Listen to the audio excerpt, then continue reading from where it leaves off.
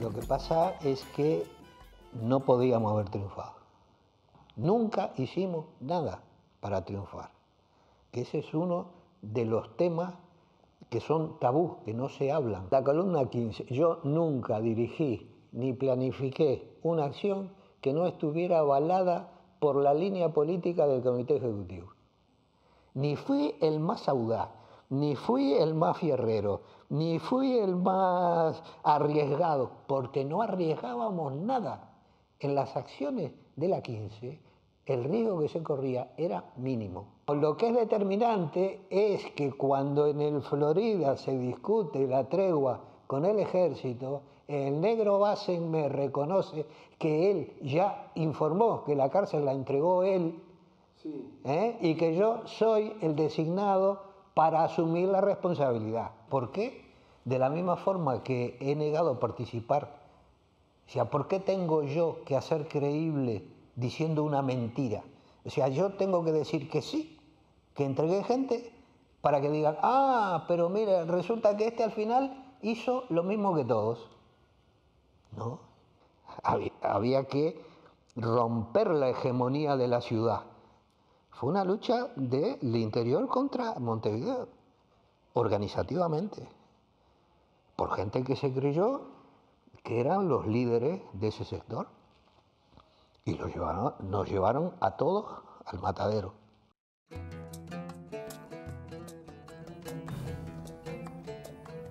Muy bien. Nieto, buenas noches, muchas gracias por estar. ¿eh? Amir, buenas noches. Buenas noches. Gracias por estar. ¿eh? No, gracias a ti. ¿Qué es lo primero que les, que les vino cuando terminó la entrevista? ¿Qué es lo primero que les vino como reflexión? Varias cosas, ¿no? Este, fue una de las, de las expectativas más grandes en torno, digamos, al MLN que, ha habido eh, en los últimos años. La historia oficial ya la conocíamos, eh, este, pero la opinión de Amodio sobre lo que pasó y lo que pasó con respecto a, su caso, este, recién ahora, después de 40 años, también es mucho tiempo. ¿no? Entonces no podría ser un balance, digamos, frío de algo este, que en cierta forma eh, sorprende, ¿no? Yo, eh, nosotros lo vimos con mi señora el programa este, los dos pertenecimos al MLN y, bueno, nos pusimos a conversar. Lo primero es que hay como dos planos muy notorios entre la vida personal de él y los temas políticos que se derivan de, sus, cosas. ¿no? Este, y ahí es donde para muchos tupas, para muchos ex tupas, es donde puede estar la eh, el, punto de quiebre con respecto a lo que él plantea. Eso que él dice del interior y de Montevideo, yo de alguna forma en algunos artículos, eso ya lo, había también este, planteado, eh, el, MLN se quiebra en ese momento en, una estrategia este, distinta a lo que había sido su historia. El, el MLN había tenido el interior como una retaguardia de ahí salían los militantes, muchos de los militantes, ahí se guardaban las armas, ahí este, iban los heridos a, recuperarse, y de golpe y porrazo a través del tatú pasa a ser un, frente de lucha que, es muy frágil, la integridad es muy frágil. Este, eso fue una de las cosas que primero conversamos, ¿no? porque este, eh, yo coincido en esa, en esa visión. En lo que tiene que ver con lo personal, en lo personal, digamos, a mí me parece que Amodio este, ha meditado mucho sobre las respuestas que puede dar el día que él pueda hablar y esto que él plantea el otro día es producto de esa meditación. Personalmente no creí mucho en las cosas que él hablaba, no creí, diría que nada.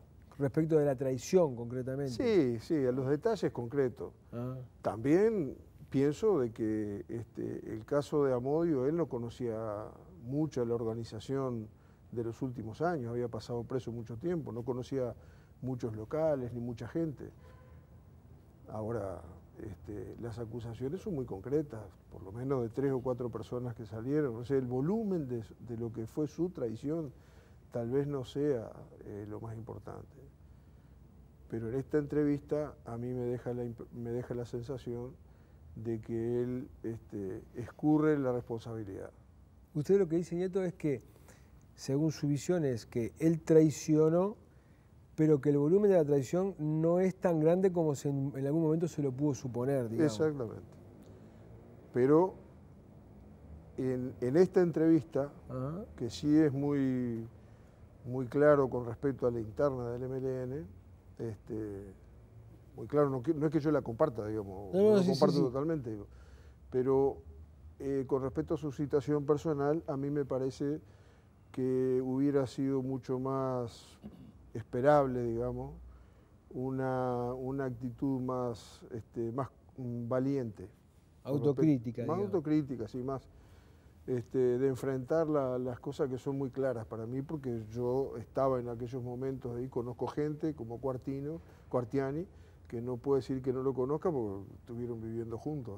Este, y eh, bueno, no sé, como, ese, como los otros casos también.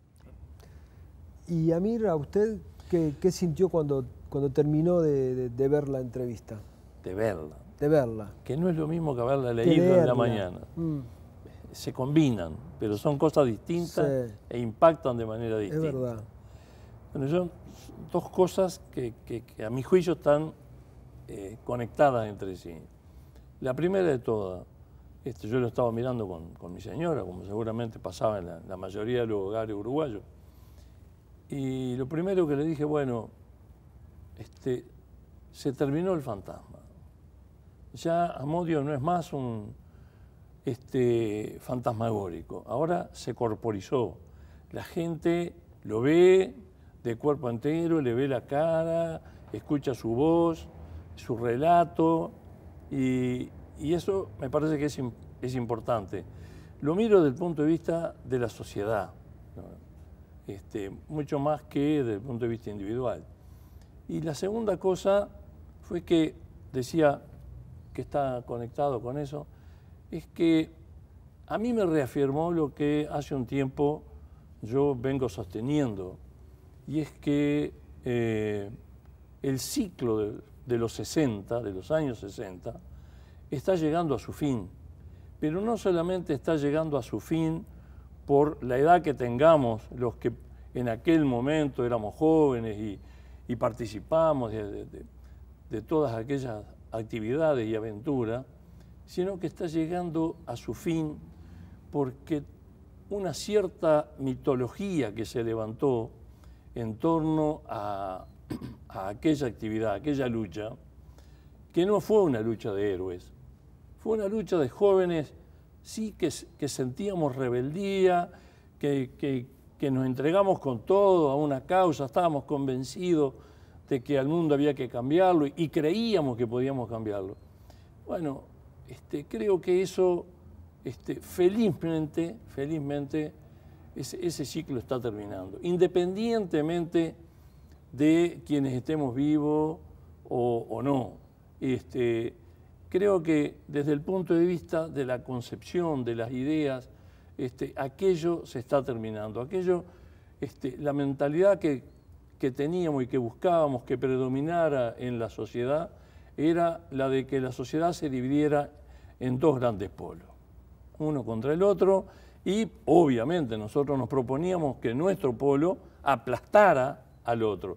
Bueno, felizmente eso no se dio y hoy, 40 años después, Digo que está terminando ese ciclo porque quienes así piensan constituyen de un lado y otro una pequeñísima minoría y la inmensa mayoría de la sociedad uruguaya está conforme, este, satisfecha de poder ya acercarnos a los 30 años de, de vivir en democracia, donde todos podemos decir lo que tengamos ganas de decir, lo que sintamos como verdades propias y en ese sentido, visto desde, la sociedad y de la democracia, creo que este esfuerzo que, han hecho ustedes y, vos eh, personalmente, Leonardo, este, de, de poner la mira allí y, de entrevistar a, a, Modio y lograr que él se expresara y lograr luego que la sociedad uruguaya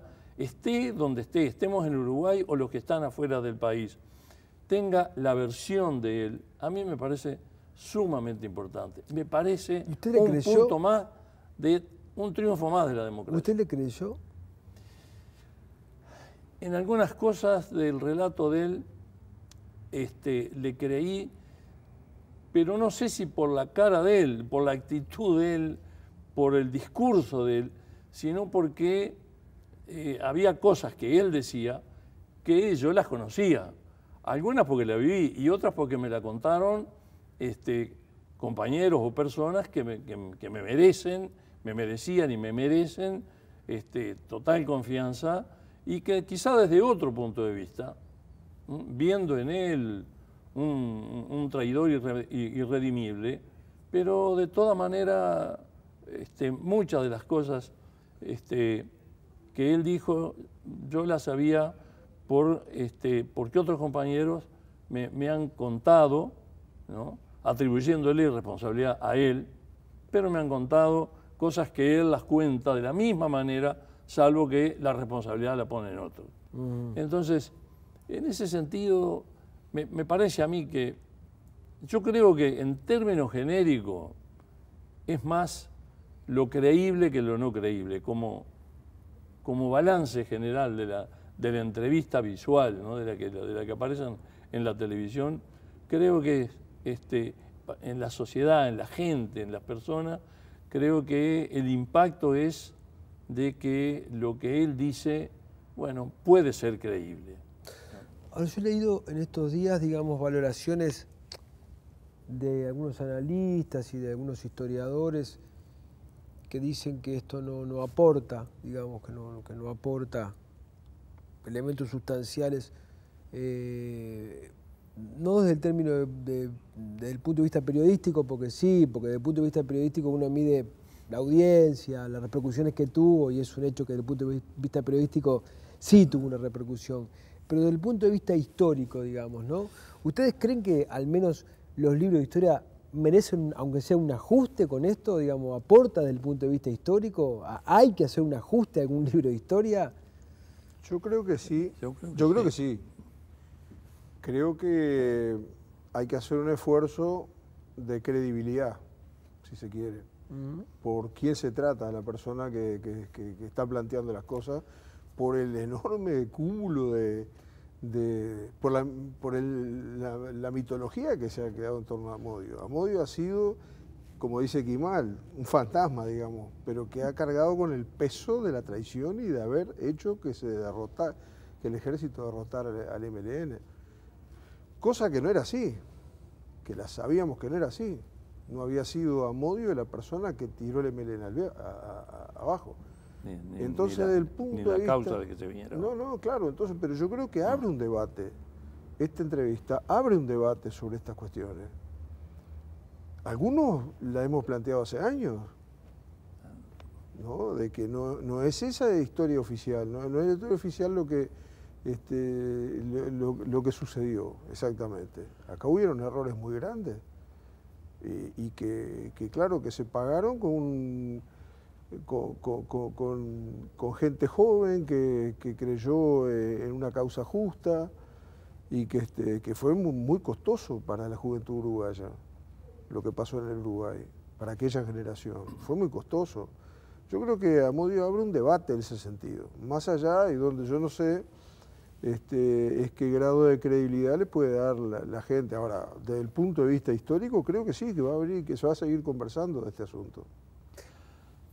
Yo, yo pienso que sí, que precisamente para los investigadores, aquella gente que le gusta trabajar en serio, este, y con todos los instrumentos a los cuales puede apelar un, investigador, que es desde un documento escrito a un testimonio de alguien que no estuvo pero que vio, al testimonio de alguien que estuvo y que fue protagonista, este, una entrevista. Es decir, creo que eh, el investigador puede apelar a una panoplia de, elementos, de instrumentos para, su trabajo y creo que esto a, los investigadores de la, de la ciencia política y fundamentalmente o en gran medida a los investigadores de la historia me parece que le aporta.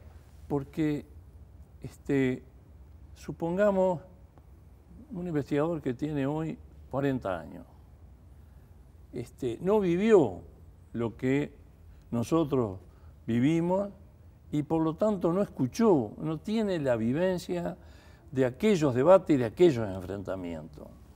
Este, y puede leer un, un libro, hay mucha literatura épica, ¿sí? donde hay toda una historia pintada como de héroes, ¿no? que no lo éramos, este, éramos luchadores, que estábamos convencidos de una idea que, que muchos valoramos hace mucho tiempo que era una idea absolutamente equivocada y condenada al fracaso, pero, pero hoy eh, a Amodio defender de nuevo, este, porque hay un tema, e- el fantasma desapareció, apareció el ser humano, pero es como en la película aquella, este, Lenin, ¿no?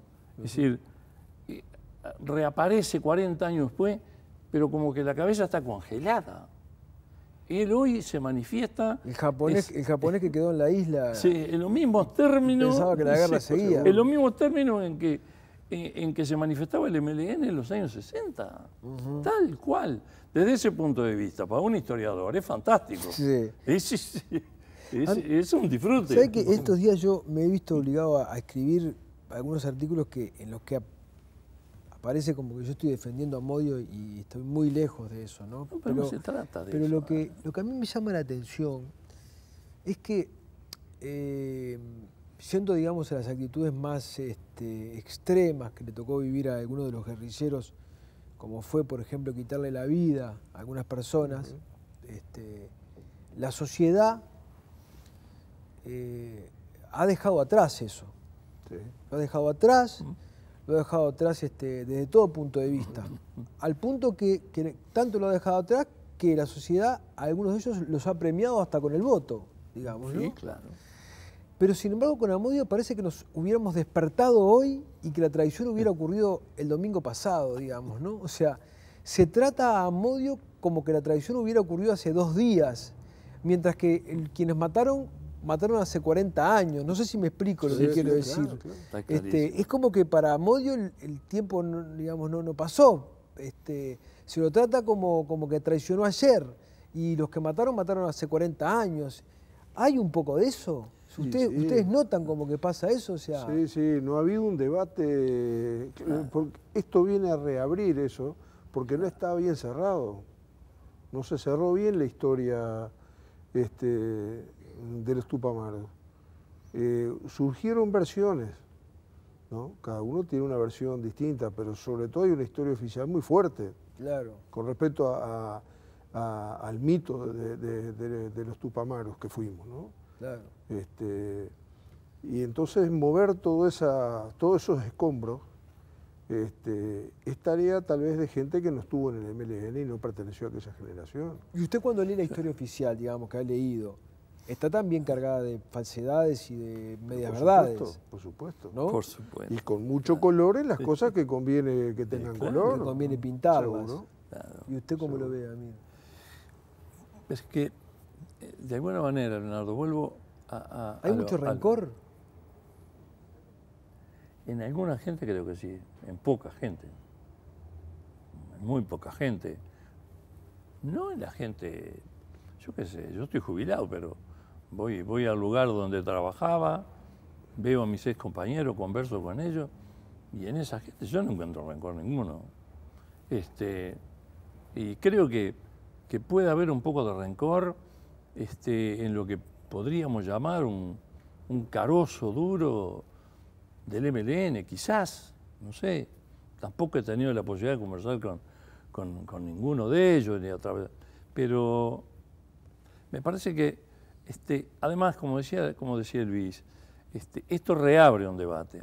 Y a mí me parece importante, de- vuelvo a decirlo, desde el punto de vista de la sociedad y de la democracia, me parece importante que se reabra el debate. No importa cuál sea la causa. Hoy es Amodio, podría ser otro.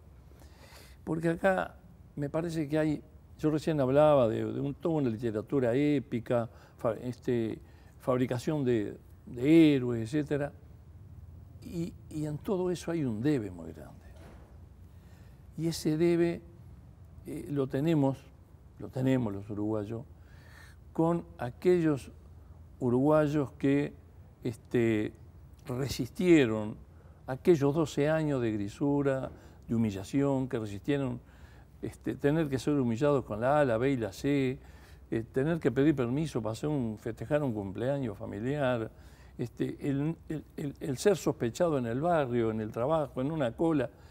Este, y, esa resistencia, que en definitiva, sin perjuicio de lo que hicieron el exterior, pero que fue esa resistencia la que terminó con la dictadura, porque acá la dictadura no cayó ni porque el ejército se vino abajo, como en el caso argentino que perdió la guerra, ni porque se dispararan muchos tiros, que no se disparó ninguno, sino porque la gente fue revalorizando la democracia y llegó un momento que algo que no creían los militares, y se dio y fue el plebiscito del 80. Y ahí la gente se afirmó y se afirmó y como que se expandió la revalorización de, la democracia que quizá en, los años 60 como que en la misma sociedad ese, ese, valor, ese sentimiento hacia la democracia como que se, se había un poco este, resquebrajado. Entonces, yo creo que es muy importante eh, esto, no por Amodio en sí, porque eso cada uno se formará la opinión sobre Amodio en particular y, punto. Pero lo que me parece que, eh, que lo que como hecho es realmente importante es que hay otra versión de las cosas. Otra versión que le pone un signo de interrogación a la versión oficial de quienes, pero no de cualquiera, de quienes hoy son eh, el gobierno. ¿Debieron responder? ¿Ustedes creen que los, que los, que los gobernantes, que los, que los miembros del MLN de primera línea debieron darle una respuesta a esto? Sí, yo pienso que, que, sí, que alguna... pero yo creo que no pueden responder. No, pueden, No pueden responder. ¿Por? Y porque han pasado muchos años donde la figura de Amodio ha tenido el peso de ser el gran traidor, entonces todos los argumentos que vengan de su parte son nulos no tiene ningún sentido. Y eso es algo que pesa también eh, en un montón muy chico de gente, ¿no? Mm. Pero este, eso ha calado y ha atado también, este, eh, digamos, a, los referentes este, en este asunto. Este, no, responder, no responder está dentro de la lógica, digamos. está dentro de la lógica de, funcionamiento del, digamos, del pensamiento tupamaro, digamos. Claro, porque es que no hubo un debate y cuando no hubo un debate durante tanto tiempo y donde no hubieron...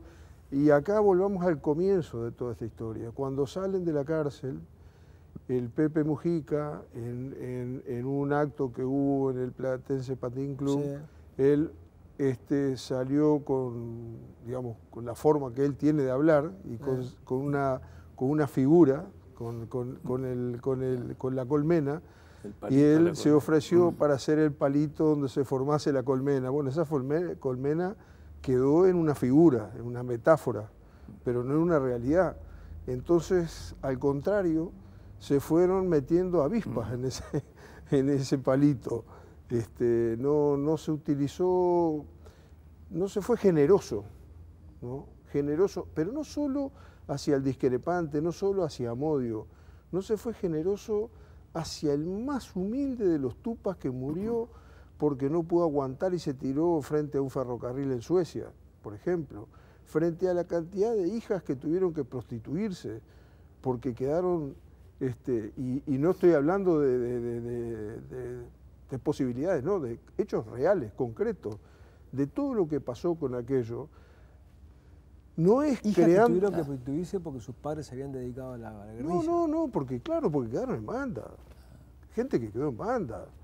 Este, eh, mucha gente que quedó en banda, con, además con cada historia personal terrible, ¿no?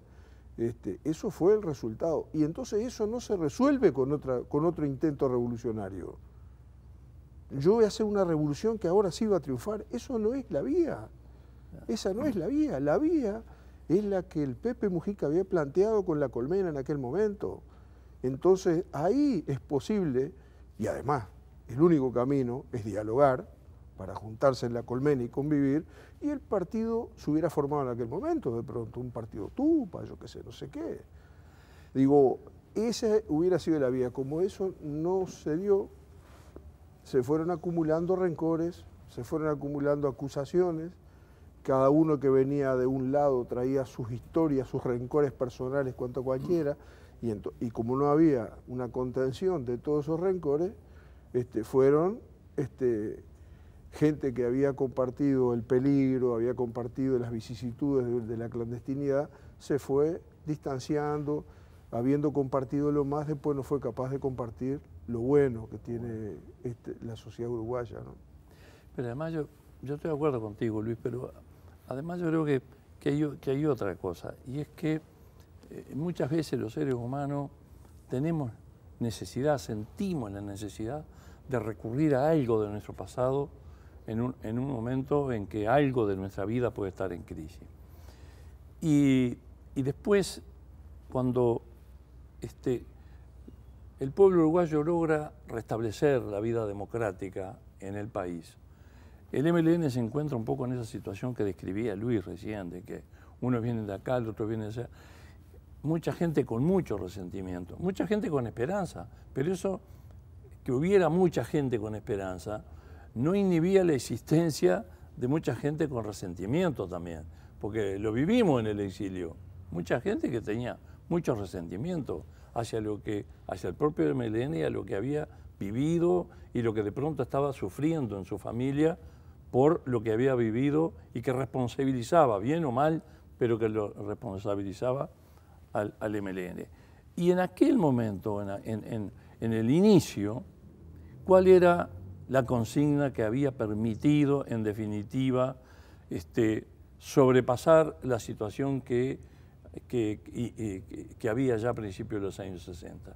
Era aquella consigna de que los, los hechos nos unen y las palabras nos separan. Y yo creo que de alguna manera, Leonardo, eso eh, está como aquello famoso, está subyacente de alguna manera.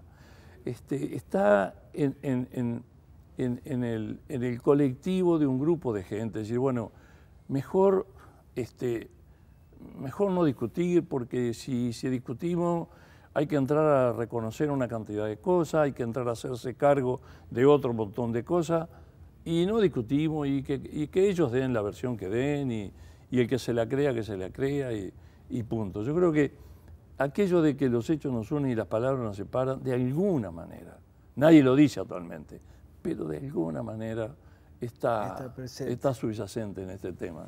Señores, le agradezco dos veces, primero por haber estado y después por la ausencia de rencor. Por favor. Muchísimas gracias. Muchas gracias. Nos vamos a la tanda y enseguida volvemos.